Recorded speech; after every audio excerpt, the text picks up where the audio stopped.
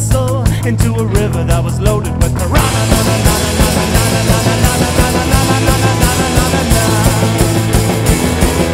I'm rocking back and forth beneath the light bulb. My chair will not sit level anymore.